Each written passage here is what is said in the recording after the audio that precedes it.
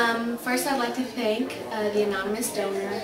Um, even though I don't know who you are, I know the Lord above does, and I uh, pray that He blesses you as much as you've blessed me with this donation for my home.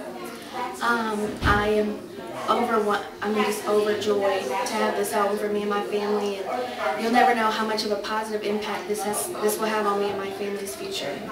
Um, and I just want to say thank you for everything you've done.